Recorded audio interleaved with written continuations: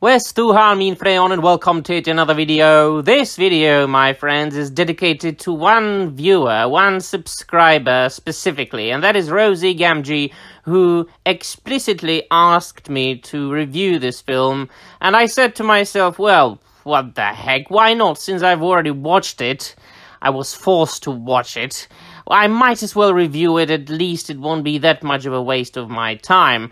And don't get me wrong, my friends, that film was not bad in particular, which would have been better, maybe, than what the film actually is. Because the film, my dear friends, is only a bland pudding of a beige color for consumers who like to turn off and switch off their brains and look at flashing images and jumping characters from here to there and speaking in grave and important tones. The film is oversaturated with exposition and exposition after exposition after exposition. I'm, of course, talking about Doctor Strange, the Multiverse of Madness, a, a part of the fourth. Uh, line, fourth wave, fourth phase. Yeah, they call it phases. Phase 4 of the Marvel Cinematic Universe, or MCU, or as some people or some reviewers on YouTube call it, MCU, which well, be honest with ourselves, it is quite fitting. Uh, I am going to talk about the positives first because, uh, as a long time, a lifelong comic book fan and a comic book aficionado, I was able to see some things. It was two scenes. It was two scenes that I went, oh, oh, yeah, yeah, yeah, yeah, yeah. And one of them wasn't even comic book related. Uh, the the biggest problem is if you are a genuine comic book fan and, and you know something about the comic books and the history of the individual comic book lines and the characters, and then you see all the changes that they are doing to the characters today, demasculinizing men, making every single male character into a joke, into uh, uh, a a clown, empowering all the females, getting rid of their femininity altogether uh, ridding them of uh, their beauty and making them into what? Into a bland uh, character that uh, will only kick everybody else's bottoms. That's not entertainment. That's, uh, well, maybe for some people, but definitely not for me. And don't get me wrong, I am not looking for depth in a Marvel movie. Most certainly not. I am not you know, I don't want uh, from a Marvel movie. I don't want the same thing as I wanted from I don't know, for example, uh, Citizen Kane or The Seven Samurai or The Godfather. Uh, films that have become classics and icons of cinematography and uh, have entered the history of very serious and very good films. Um, and also, I belong, sorry, among the people who we're actually excited about the phase fir- one or the first phase of the Marvel Cinematic Universe. That's when all of this craziness started, and we were able to see some of the characters who might have not been very popular in their comic book form suddenly enter the big screen, and they were actually good. They were very well made, and the the films were good. They were funny. They were action packed. They were suspenseful. Uh, the humor was still uh, actually humorous. It was not bland. It wasn't as if they had um, just just one template for every single Marvel film because the latest two phases of the Marvel Cinematic Universe films and the TV shows that uh, have been aired on Disney Plus they all have a template. There are characters who are replaced by uh, their uh, successors by the um, some sort of hand-me-down knockoffs, such as we could see in Hawkeye, such as we could see in. Um, and now I do, I hope I won't be mistaken it for their comic book versions because some things are still in works. I know that um, Iron Man was replaced by Riri Williams, but that is only to happen in the films. But we can see that in the latest Thor movie that is going to come out, right? Thor is going to be replaced by Jane Foster, who is going to take the mantle, and Thor is, of course, not a mantle, it's a name. Uh, you know, that that we've got uh, here in this particular film, there is Wanda Maximoff, who was an interesting character in comic books. She once, in the House of M storyline, she caused a, almost a complete eradication of uh, the uh, mutant gene uh, when she said no more mutants.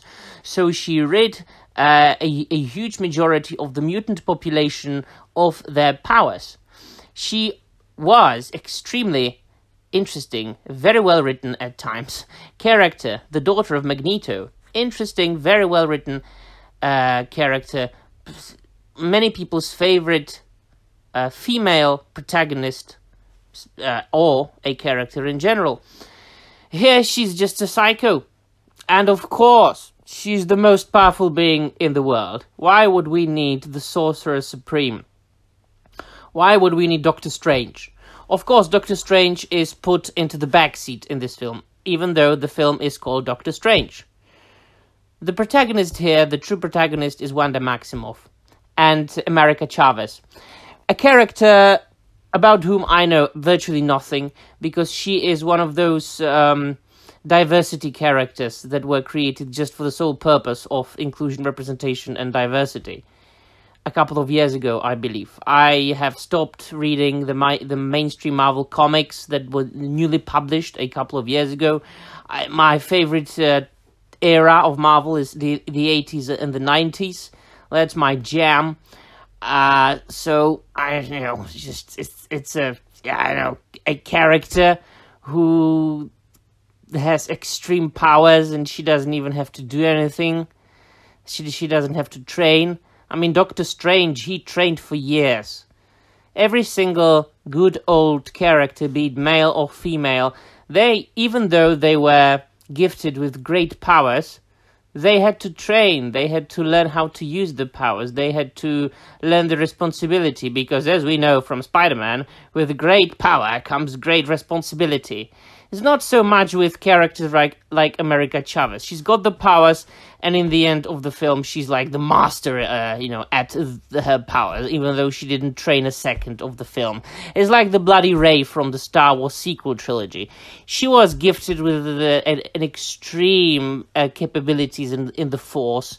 She didn't have to train the same way Luke did, or Anakin did, or every single other Jedi in the history of the Order did. Um, I wanted to talk about the positives. the positives were, uh, and now, of course, there are going to be spoilers in this video. I might be saying it a bit late, but never mind. Uh, there was Bruce Campbell cameo. Bruce Campbell cameo. And that's, I believe, because, just because the film was directed by Sam Raimi. And that is why I'm saying that the film was not bad. Because Sam Raimi is an extremely talented, an extremely good director. Just watch Evil Dead, Evil Dead 2, The Army of Darkness. Bloody hell, he directed the first uh, Spider Man films with Tobey Maguire that were awesome. So he's a good director, but the biggest problem is the studio influence Disney. And that's where it all ends. You could hire the best director in the world, but as long as there is the Disney studio influence, you're bumped. So the uh, cameo of Bruce Campbell was awesome.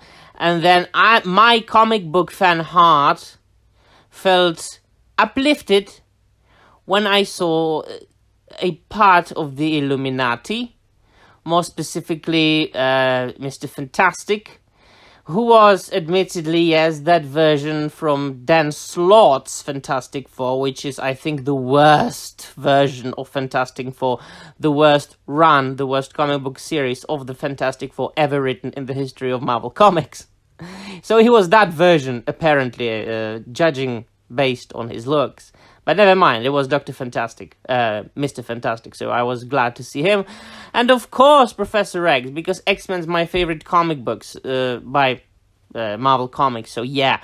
Seeing uh, Patrick Stewart as Charles Xavier once again in the chair, the the hover chair, the yellow hover chair that he used in the X Men, the animated series, and in the 1990s X Men comic books, and before that was awesome to see, of course.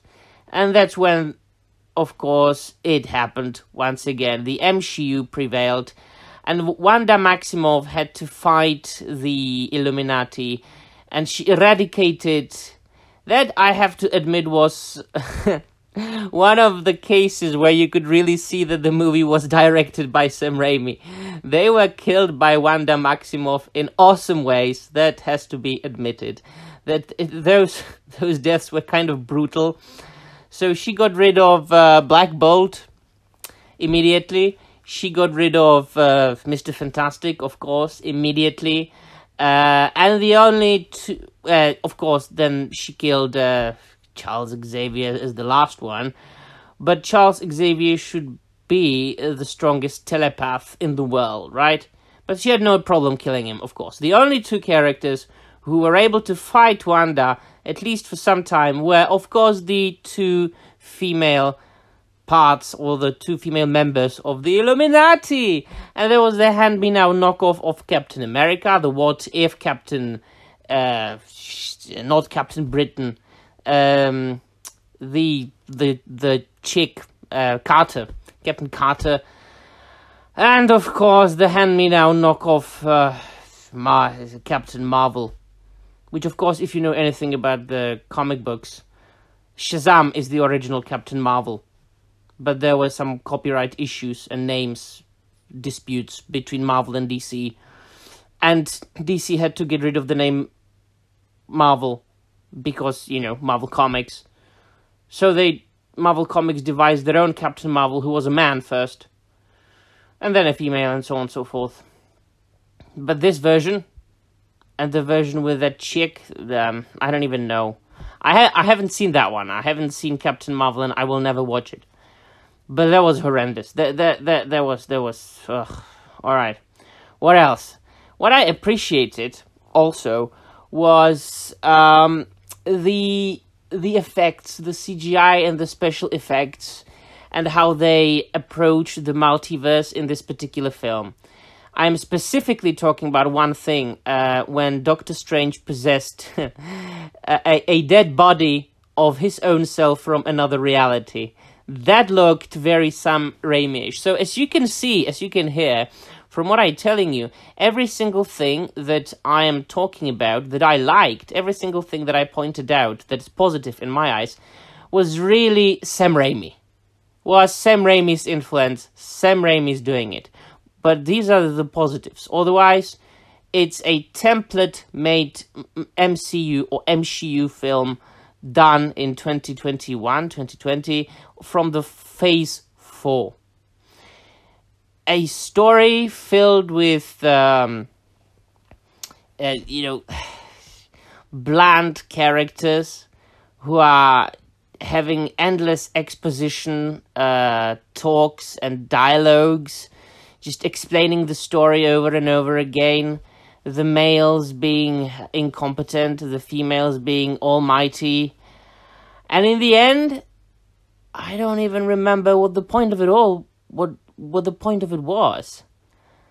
Yeah, I I know that Wanda Maximoff wanted to have kids, so she wanted to get to another reality where she had kids, and in order to do to do that, she had to capture America Chavez, because her power was that she could travel between the different multiverse, you know, in between the multiverse, between the different universes. And the, the, the, the task of Doctor Strange and company was to stop her from doing that. And in between all this, she eradicated everything and everybody standing in her way. Ugh, alright, it was. I mean, those awesome th- aspects of the film were distributed in between the blandness so nicely that I managed not to fall asleep. So the first very good thing there was was the cameo of Bruce Campbell, which also contained one of the tropes that Sam Raimi uses in his films, and that's um, like violence committed upon oneself, almost Laurel and Hardy kind of thing. Uh, so he was beating himself because Doctor Strange made him do uh, do that, and it reminded me of it reminded me of Evil Dead and the Army of Darkness, of course. So yeah, that's that's the gist of it. The finishing thoughts are, I don't recommend this film. There are much better films made in the past. If you want to enjoy a good comic book movie, just go back and watch the older films. This is nothing new. This is yet another consumer product made by Disney Marvel to please the eye and ear of a consumer who is not looking for a a good product. It wasn't good, but it wasn't bad. It was meh, and that made me worse of all when when something is meh. All right, let me know in the comments down below what you think, and that'll be all. Thank you very much for watching, and I'm out.